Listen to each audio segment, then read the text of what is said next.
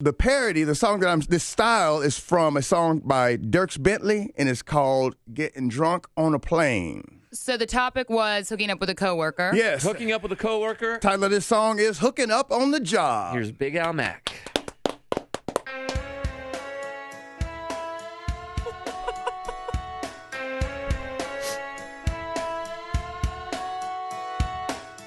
Been working here every day for almost ever. Been checking out the secretary named Heather. And all the tail up in sales got me thinking about hooking up on the job. They think I work so hard since I am always early. But actually been hooking up with part-time Shirley. and the receptionist has got eyes that make me wanna start.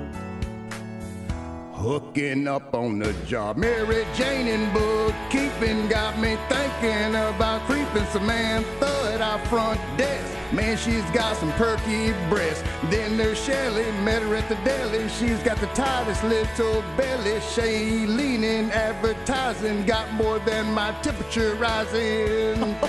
uh, uh, Middle Eastern chick in tech support is suing me child support. it's not my fault. Can't understand when she, when she talks.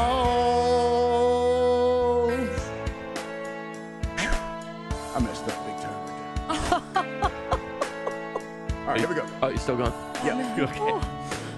Boss hired this new hottie just last week. Something about her makes me think she's a freak. Might be the way she runs her tongue across her lips and her teeth.